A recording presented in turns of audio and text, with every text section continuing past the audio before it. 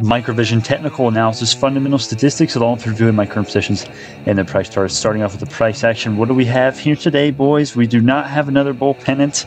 Uh, unfortunately, it would be nice if I could make three videos in a row with three bull pennants, but this time we do have a cup and a handle for microvision. Now, on the other two charts, we have a little bit not as clear as this one. Obviously, that's why I wouldn't say it, but the the other charts have a little bit of a cup and handle as well. The only thing that invalidates this uh, cup and handle a little bit is that this part of the sell off was just because of the market.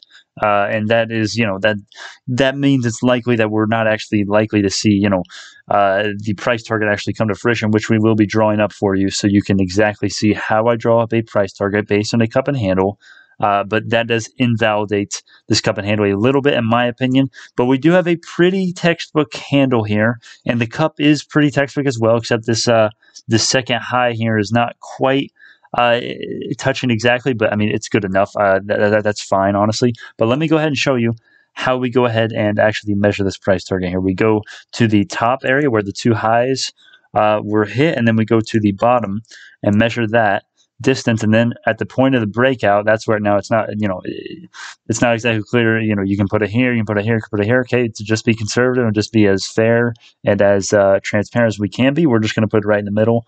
Uh, the price target based on this cup and handle chart pattern slash formation is going to be 25 35 that is the price target. Now i want to be clear i didn't touch on this in last video as much as i should have. These price targets are not for sure they are never for sure, and these price targets do not always happen in a an hour after the breakout. Right, as you can see, we're in the four hourly chart here, and we do have two four hourly closes. If I move that a little bit, we have two four hourly closes above this descending resistance level, signaling to me a confirmed breakout. But of course, some of this was in the after hours, so you know, not a ton of volume. I look at this, look at this last candle here, right? There's, there's literally no volume there, right? So you know, uh, this is not a super surefire breakout, but I would still call this, in my opinion, a confirmed breakouts, especially considering we did get rejected uh, roughly in this little Fibonacci retracement level, 38.2% re- re- retracement level, roughly. And then we came down, pretty much validated this. We actually did, okay, we did. Now that I zoom out, I can see it perfectly. We actually validated this descending level of resistance, now turned support since the breakout and that we actually validated that perfectly. So that does uh, verify a little more and give a little credibility to this as an actual breakout. Now, do I think this is going to come to fruition? In my opinion, this will undoubtedly come to fruition if two things: we don't get any insane, unrealistic, in my opinion, crazy negative news catalysts.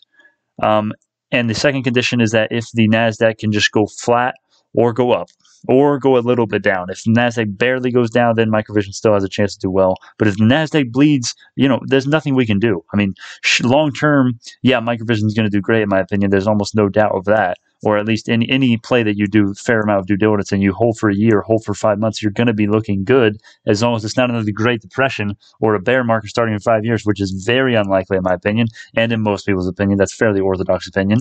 Um, if that means if that if that validates that and verifies that anymore for you, but in my opinion, this will uh, hit the price target within the next couple weeks in my opinion. Now, of course, that's an insane price target, but that is, you know, you know what? Let me let me revise that. I don't, I don't know if we'll necessarily hit this, $25. But what I will say is that we'll definitely get a strong break to the upside. I don't know if we're going to exactly hit that price target, but if the NASDAQ goes up, uh, yeah, we're going to be very likely to hit that in the next couple weeks, especially if we get back to all time highs. Um, but and remember, this this stock is very heavily correlated, very heavily correlated with the Nasdaq index. So be aware that you know Nasdaq goes down, our overlords decide to punish us, we're going to die. It's death, it's destruction, it's Sauron coming down from Mordor to grab Frodo and you and give you a falling knife and you know buy the dip keeps dipping. Yeah, that yeah, unfortunately, the Nasdaq does have the chance to say that. But guess what? The guess what the the solution to that is? You guessed it. Diamond hands. Diamond hands. That's what you got to have if you're worried about uh, a falling knife. but guys, let's look at some other indicators. Let's go to the daily. Bollinger Bands. Let's actually do the Bollinger Bands first. Let's shake it up. Bollinger Bands first. All right, middle Bollinger Bands trading at 1608. We're currently trading a little above that, 1735. What does this mean? This is actually slightly bullish, in my opinion. This means that, yes, we're going to be seeing some polling and almost like a magnetized pole, if you will, if you can understand what I mean. Not literally. Okay, stay with me. Don't think I mean literally a magnetized pole as far as the charts. Please don't do that. But we are going to be seeing a little bit of a pole. Remember, the price action wants to stay in equilibrium, uh, if you know what I mean, with this with this uh, middle Bollinger Band moving average. And of course, you can change the settings. Mine is set to 21 and 3 as far as the length and width, uh, and you can change and get there and get fairly you know similar but a little bit different results uh, as far as where it's actually at. But guys, why it's slightly bullish in my opinion, you may be wondering, is because if we see a pullback, guess what these bands act as? You guessed this support everything, every line. But you know, you can you can do a thousand lines. You can draw up a thousand indicators. You can do you can do all these, and you can find support and resistance lines in almost all of them. But guess what? There's a couple that are very uh, surefire, and this is one of them, in my opinion. That's why we go over it. That's why we go. That's why we go over the RSI and the MACD, right? This is and the trend lines and the chart patterns and the support and resistance levels and the Fibonacci's. These are the most important and best indicators. Yes, we could do whatever the freak this is. Okay, we could do all this stuff, right? We only do the most important stuff because if you do enough indicators, you can find whatever you want to do and have your confirmation bias. But if you look objectively, uh, you can find some really good information. But let's look at the moving averages on the daily 200 day exponential moving average is below 55 and the 15 day moving average. If you're confused on how I'm getting this information right there, that's where you want to go. But we have the golden cross uh, as far as both of those uh, relationships and intervals between them. Green flag, it checks out. Bullish territory, bullish sentiment we're we're good to go as far as the EMA and the MA. Let's look at the MACD and the RSI daily relative strength index. Now, you may be wondering, all right, we had a fairly good run up, right? We're you know we we are breaking out. That looks pretty bullish, but you know we're still very inflated as far as where we were in December of last year. True, true. But I want you to show you. I want to show you something. Look at the RSI right here. If you were to buy in at uh, nine dollars here, when the RSI is 95, 95 and you held. You could have sold when you had more than a 2x, or you could have held all the way through and you're still up. You're basically up uh, as a 2x right now. So what does this mean? So that means if you bought in at 95, now of course the past is never necessarily indicative of the future. Remember that, that that's true for anything in life, right? history doesn't you know it, it, doesn't mean anything necessarily nothing there's too many variables to be sure in most things at, at, least as far as investing. Okay, I'll change that to just mostly investing. But guys, last time we were at 95, you could have bought in there because this is such a great stock because it's got such potential. We're not even at 95 right now. We're not even overbought right now. And we, I mean, we're, we're way, okay, yeah, the stock price is way higher than this, but guess what? RSI is looking fine, and it's much better buy right now than over here. Okay, no, technically you would want to buy here, right, because it's lower. But as far as RSI, it's a better buy than it was here, and you would be sitting fine if you would be sitting very nicely if you bought right here. That's lower than my current average. And you may be wondering, I only have 41 shares. We will be going over uh, how my position is actually so low in Microvision. We will be going over that in the current position section. Now, MACD, daily MACD. All right, the signal line is about to cross over the MACD or cross below the MACD line. That is going to be a bullish confirmation. That is a buy signal. Very important one, uh, especially. Four hourly, let's check this one out. You don't want to just look at one indicator or one time frame, one time frame. On this one, same thing. So if we get a green day on Monday, whew, it's going to be looking very good for Microvision. We're going to get we're we have a breakout. Okay, we have three things. We have four things potentially. We have a good week this week on as far as the Nasdaq because of low, uh, not that many economic uh, events, uh, so according to Market Watch at least, right? You know, uh, and they get that and that can change, but we don't have many market events and like speeches and and uh, inflation. Well, we do have inflation coming up later in the week. Uh, a little bit of statistic core inflation, but we don't have Powell, right? That's a big plus. At least, you know, usually I guess it is, right? It's risk that the market doesn't want, right? It's stability that the market uh, wants, and Powell is not stability. That's darn sure, right? Um, so we have the NASDAQ likely to go up, in my opinion. The technicals are bullish, and the economic calendar is bullish, in my opinion. Number two, we have uh, a breakout in the cup and handle. Number three, we have the four hourly MACD about to go up, and if we did, if we did uh, get that bullish confirmation, that's going to be some more bullish sentiment. And then number four, we have the daily confirmation that, of course, the daily the daily MACD is going to be more macroscopic and more delayed than the than the four hourly. But still, if we get a green day, this could easily pop, and we could get the bullish crossover, and that's a buy signal that a lot of people are going to going to be watching and are going to be uh, making trades off of. So we could be looking very good. We could be looking very nicely. But watch the Nasdaq. That's the only thing with this one. Of course, we can get a news catalyst sending us to get delisted, right? I don't think so, in my opinion. But remember, eh, when you invest in a stock, there's always a chance they can get delisted, and you can lose literally all of your money. Not really, but you know, there's still technically a chance. You know, not a realistic chance, in my opinion, if you do decent research. But that's what we're looking at as far as Insider the ownership, Seven point seven seven percent. What does this actually mean, Brandon? How are they calculating this? All right, that's why I'm here for you. This is the total outstanding shares. 146 million. What does the shares outstanding mean? It means the total shares that the company has issued uh, in total. Insider shares, this is 11 million. This is how many shares of the total shares outstanding that insiders own. And out, out of the float, the float is what is available to public investors. Um, so that is uh, that is what we're looking. That's what all this stuff means. Okay, and this is bullish. Of course, this is seven percent is what you want to see. Anything above five percent is bullish, and anything. I mean, really, even a little lower than that is probably average, in my opinion, based on what I usually see. Institutional ownership, seventeen percent. I don't like institutional ownership very much. We're going to be going over why I don't like analysts over here, but for now, institutional ownership partly, partly. Uh, institutional ownership is slightly bullish. If that's an indicator you like to use, that's fine. That's your opinion.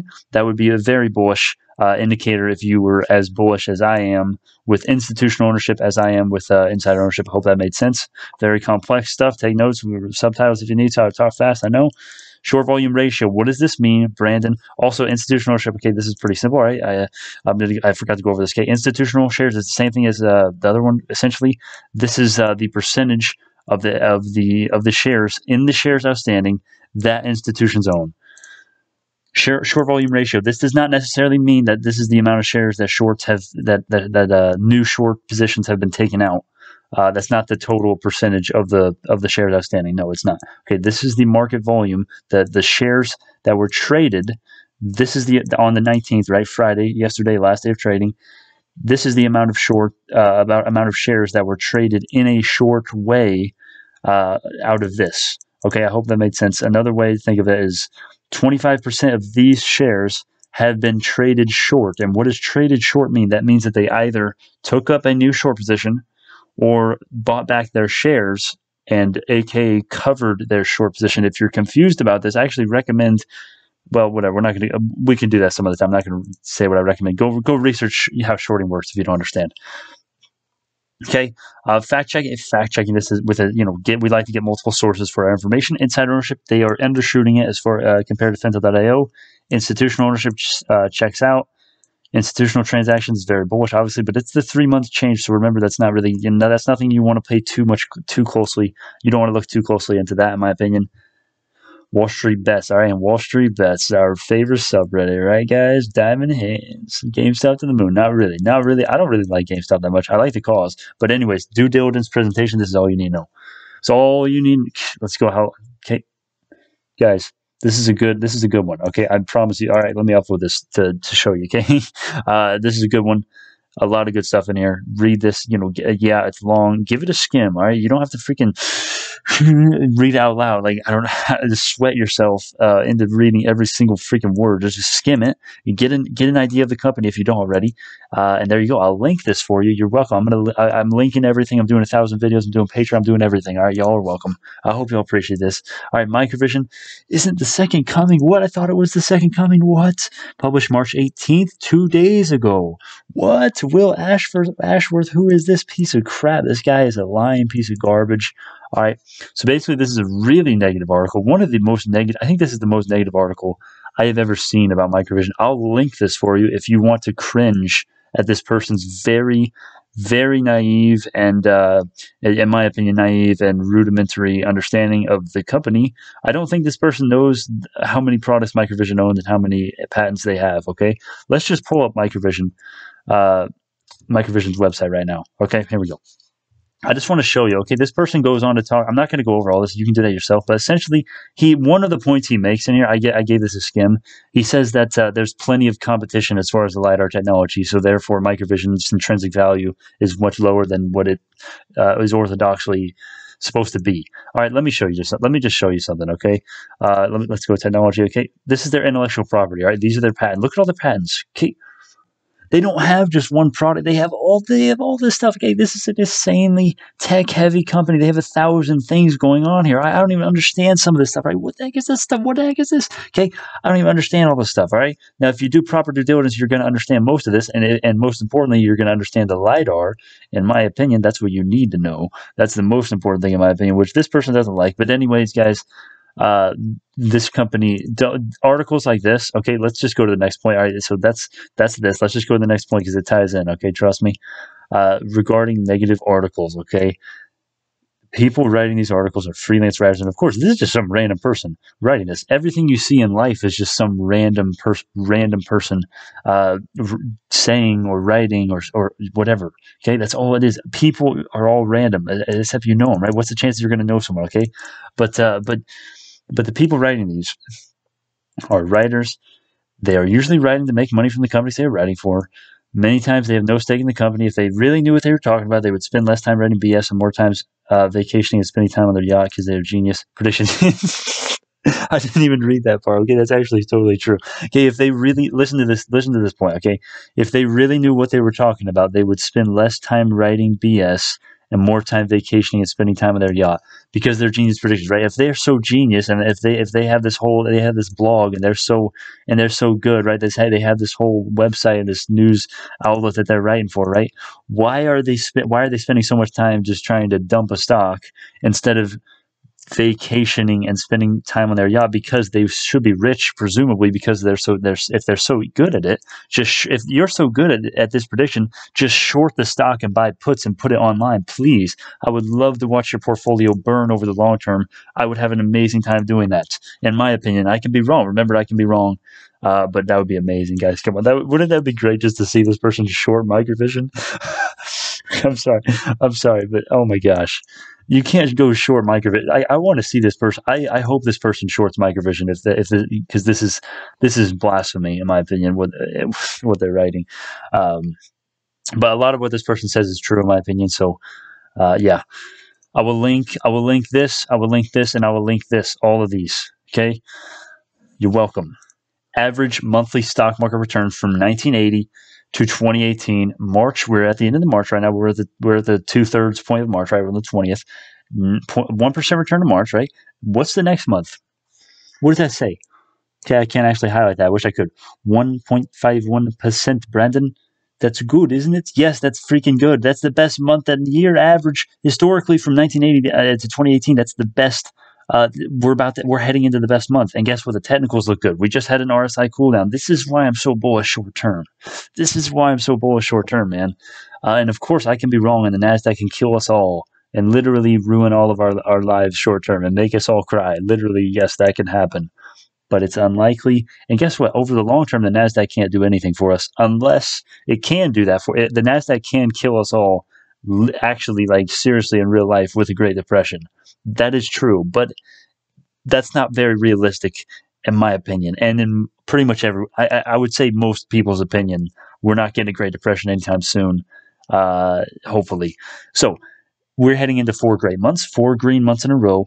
So this is reason for me to be. This is why I'm issuing so many buy alerts. You know, I'm on Patreon. You guys know if you're on the Patreon. Shout out to the patrons. All right, you guys know I'm very bullish right now. All right, we just got a correction, man. You should be loading up on the dips if you can. And of course, it's good to keep some buying power. I have plenty of buying, but this is more buying power than I usually have uh, right now. And this is just because uh, you know I am a little scared because I'm scared long. I'm very scared long term or or medium term. I should say medium term uh, like a couple next couple years to decade. yeah, no, not decade, but next couple years to five to six, seven years. I'm very scared for the markets, but uh, but short term, I'm very bullish, and we we don't need to get into why I'm bull, why I'm uh, bearish long term or medium term. I guess. I mean, not really, not necessarily bearish, just not as bullish as I am short term, right? Okay.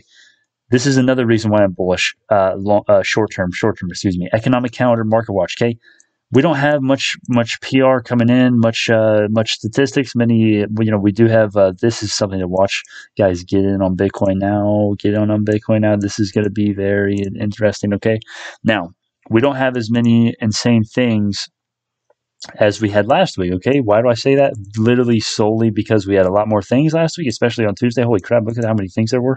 But mostly just because this guy right here is not going to be speaking next week. Let's go. We don't have to be scared of Powell crashing the markets or you know saving the markets by by literally solely just holding the markets you know in his hand. Literally when he was speaking last week, he was literally holding the markets in his hand, literally just able to drop them at any time if he wanted to, and just say nope your money is not your money anymore. But yeah, um, so next week is looking good. Next week, right now, Powell is not speaking, uh, so we're looking we're looking not that bad, right? If Powell not speaking is typically a good thing. The market likes stability. The market does not like surprises. The market wants the less of these things, the better. That is the market's mindset I'm, that's that's pretty factual. Okay, that's not really debatable. I think in my mind, at least current positions. I told you earlier. Whoa, that's way too zoomed in. Okay, working. All right. Okay, let's go ahead and zoom out here. If Google Sheets can stop screwing around. All right, there we go. There we go. Okay. Uh, firstly, let's go over the price targets. April seventh price target's already been hit. It's already been hit. All right. I'm not saying I'm a genius. All right. I'm not saying of course, I'm not saying I'm a genius. Okay, I'm not, I'm not a genius. I'm not a genius. Okay, but I, I am good on my price targets historically. And when I say historically, I just mean last month. Okay, I don't have. That's when I started. Okay, I'm not hiding something from you. Go back. My first video, literally the first video that started it all, that started this multi-million dollar business. It will be, in my opinion. I think in my mind, it will be pretty soon, sooner than sooner than later, sooner rather than later. But uh, but we do have this is my first video that I did, literally detailing these price targets and my my uh, exact end of year bear and bull cases. And now uh, these are my new price targets for April 7th. We've already hit a lot of them. We've hit microvision out of the park. We've already hit it. Of your bear case 30, end of your bull case 60 to 150. That's what we're talking about. Now, why did I sell microvision? Mostly uh, for one reason this bad boy right here, Skillz. I needed money for Skillz, honestly, and Skillz. The Skillz is not marginable, so I had to sell a lot of other things. And obviously, you know, it was it was such a high probability trade in my opinion, and it's got so much room to run. This is actually a good long term play, in my opinion. Um, it really is, and it's not. It's it's in a it's in a completely different space than tech. I mean, yeah, it is technically tech. It is literally like a gaming platform. I guess that's kind of techy, but it's not. It's not anywhere near microvision or Bionano level tech right? It's definitely not following the NASDAQ as Microvision is. And they have gotten beat down like an insane amount, but I'm still super bullish on Microvision. Yeah, I sold a little bit. I, I don't want to add anything because my average price looks so sweet right now, but I will be adding on the dips. Uh, but I'll probably just be holding. I'll probably just be holding microvision. I might I might add a little on the breakout if we do get some more uh, bullish confirmation. If we do break this uh, 38.2% retracement level, that's an entry point once we confirm it. Oh yeah, by the way, by the way, I want to talk about something real quick. I know this video is long. Okay, I'm going to try to be quick here, but I did sell when I actually sold. I want to tell you a quick lesson. Okay, I timed this perfectly. How did I time it perfectly, Brandon? Why are you bragging so much today, man? What's wrong with you? You're getting arrogant lately. All right, it's actually true. Okay, I don't like being arrogant, but sometimes when you do something good, you just have to tell the truth, right? I didn't even time it perfectly. I sold right on this 38.2% retracement level because I saw we were getting rejected, and I saw the Nasdaq not doing too good. We were already up a lot on the day. Let's see what Microvision did on the day. Yeah, we were already up 10. Yeah, I saw when it was up like 10% on the day. Nasdaq was da- was up, you know, one, not even 1% on the day. So I knew there was a very low chance of us actually confirming the breakout. So I took us, I, I sold like, I don't know, I sold like 20 shares or I think it was like, it was 19 or 20 shares, I believe. So yeah, I sold right there could have re-entered lower on this on the support here, right? I had it drawn up.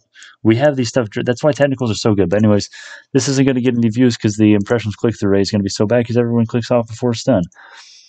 Relevant information in regards to the title now. Feel free to click off. More important things to this is the power I do stuff. Most of YouTube in the first five seconds. Merchandise Patreon. Go check out that link if you're interested. BrandonWallSout.com. That's where you, where you want to send your serious suggestions or questions. We will go check out that link below. Our business model is never going to change. Bionano to the moon. Execute order 66. Palpatine Star Wars. Revenge of the Sith, best Star Wars ever, in my opinion. If you disagree, you are wrong. No, I'm kidding. This is not financial advice. Thank y'all so much. I'll see you on the next one.